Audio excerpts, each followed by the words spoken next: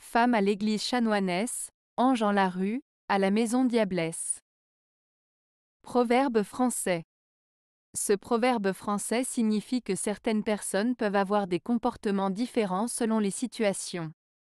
Il met en avant l'idée que certaines femmes peuvent adopter des attitudes différentes selon l'endroit où elles se trouvent.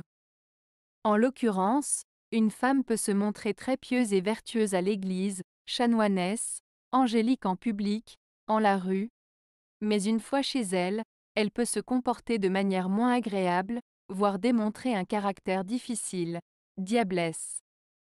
Ce proverbe souligne donc l'idée que les apparences peuvent être trompeuses et que le comportement d'une personne peut varier en fonction du contexte.